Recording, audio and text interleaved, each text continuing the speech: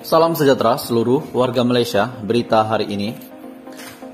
Ini inisiatif kerajaan yang korang patut apply dan share pada kawan-kawan serta family korang.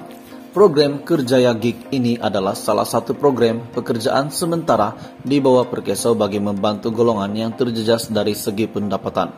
Lagi-lagi masa kini, yaitu tempo PKP kini memang ramai yang terjejas yang menganggur, yang setiap bulan tiada income tetap, ibu tunggal, suri rumah, OKU dan yang bekerja sendiri boleh memohon.